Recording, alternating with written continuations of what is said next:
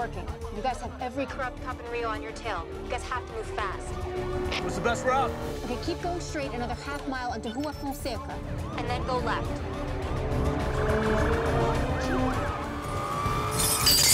Spikes ahead, Dom. We got spikes. We're going right. Nah, it's too tight. We're not gonna fit. We got no choice now.